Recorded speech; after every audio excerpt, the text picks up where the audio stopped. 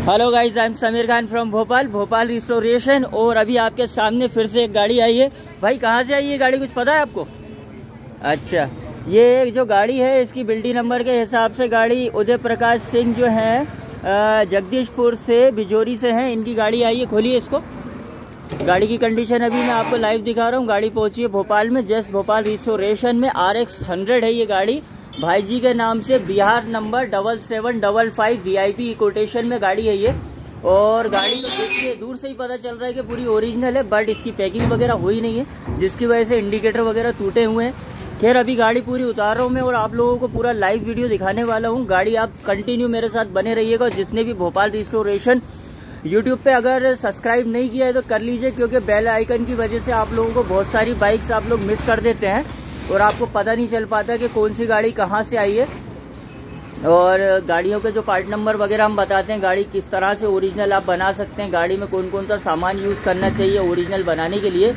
तो उस टॉपिक पे अपन बात करते रहते हैं इस पर और अभी कुछ दिनों के बाद से मेरे जो शॉर्ट्स आने वाले हैं, वो इस टॉपिक पे आएँगे कि कौन सी गाड़ी में कौन सा सामान लगना चाहिए, किस तरह के भाई लोग, वीडियो बनाते टाइम आपके भाई के गले के अंदर मच्छर घुसने के कारण कुछ देर के लिए वीडियो रोकना पड़ा था मुझे तो भाई गाड़ी ले बाहर लो। और टायर, रेम मतलब इसका है कि रनिंग पोजीशन में रही है गाड़ी। अरे उमर ज़रा इधर आना, फटाक से लिया अरे अगला हिस्सा, आराम से भैया, आराम से, ओ, आराम से आराम से आराम से, बिल्कुल आराम से। हाँ ये, आराम से आराम से। बिल्कुल हाँ ये गाड़ी का पीछे ले लो। इस पर हाँ यहाँ पे लगा लो मेन स्टैंड। पूरा कंप्लीट ही कर दो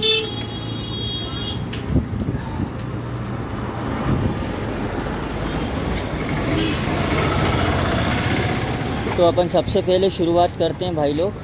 पहले तो इन भाई को रवाना करें अपन। टैंक पैनल पे आज तक कलर नहीं हुआ, पूरा ओरिजिनल टंकी पैनल है ये। डोकेट नंबर ये है, बिहार से आई है गाड़ी है गाड़ी के अंदर लोकल बिल्कुल साढ़े तीन सौ, चार सौ वाला मीटर लगा हुआ है। ये मुकुट कंपनी का आता है, सबसे लोकल वाला दिल्ली मेड है। और ये तीनों चारों आइटम बिल्कुल वही वाले लगे हुए हैं। उसके अलावा यहाँ पे ये मिंडा के ओरिजिनल वाले हैं, अच्छी क्वालिटी के हैं, या फुल अनब्रेकेबल होते हैं। ये मार्क हमेशा याद रखना, अगर ये नहीं लगा हो तो गाड़ी में इंडिकेटर ही मत डालना। ये पूरे जेनुअन वाले हैं, कभी नहीं टूटेंगे। दूसरे नंबर पे मुंडी सीटी करो इसकी। सिंगल होल वाला है, अंठानवे मॉडल के अंदर जो आया था, ये वो वाला मडगार्ड है। गाड़ी के साथ का नहीं है, लेकिन ओरिजिनल है ये।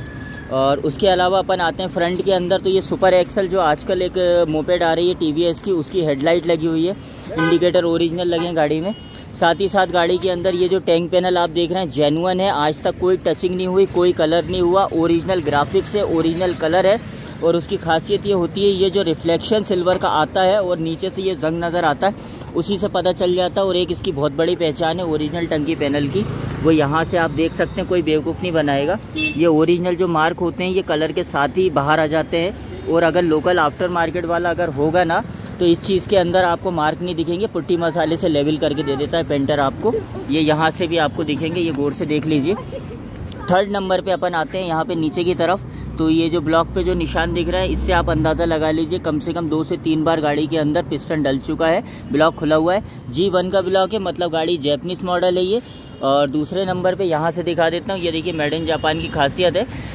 जैपनीज जो गाड़ियाँ होती थी, वो आपकी 86 से स्टार्टिंग हुई थी और 85 95 96 तक लास्ट आई थी। 96 में भी जो वन एल टू की सीरीज़ है, वो जैपनीज़ नहीं है, वो इंडियन है। और उसके अलावा अपन पीछे की तरफ़ थोड़ा सा इस तरफ़ आएँगे। तो ये जो स्क्रू किट है, पूरा चेंज हो चुका है गाड़ी का। ये इंजन खुल के कई बार बना हुआ है। पैकिंग वैकिंग यहीं से दिखा देता हूँ मैं। ये दिख रही होगी आपको, ये देखिए। ये पूरी दोबारा से ये कितनी बाहर तक आ रही है। ये रिस्टोर इंजन है। और उसके अलावा ये सेंटर भी चेक करवा सकता हूँ। ये देखिए, ये यहाँ से जो सेंटर दिख रहा है ना आपको, ये खुला हुआ इंजन की खासियत होती है। उसके बाद ये पार्ट नंबर डला है। ओरिजिनल किक है गाड़ी के अंदर। ये पार्ट नंबर डला हुआ है। चेक कर सकते हैं आप। ठीक है? ये जो अपना नब्बे के बाद जो गाड़ियाँ आई थी, उनके अंदर आता था ये। उसके अलावा गाड़ी में जो साइलेंसर आप देख रहे हैं, ये सिक्स होल साइलेंसर है, गाड़ी के साथ का ओरिजिनल उसके बाद ये जो सस्पेंशन आप देख रहे हैं, ये हीरो होंडा डबल एस में आते थे ओरिजिनल बिल्कुल नहीं है। उसके बाद ये स्प्रिंग निकलती है ओरिजिनल इंडिकेटरों में ये आने में टूटे, क्योंकि पैकिंग नहीं हुई है गाड़ी की।